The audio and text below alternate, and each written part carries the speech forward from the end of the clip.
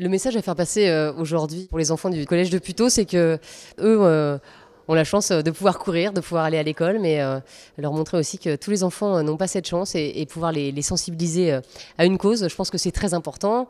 À partir d'aujourd'hui, ils vont commencer à, chercher des sponsors pour récolter de l'argent pour l'association là. Donc ça les mobilise sur une cause et je pense que c'est important que les enfants soient mobilisés sur une cause dès leur plus jeune âge. L'année dernière, ils ont récolté 8000 euros et leur challenge, c'est de faire encore mieux pour Ella. Et j'espère qu'ils réussiront leur challenge justement.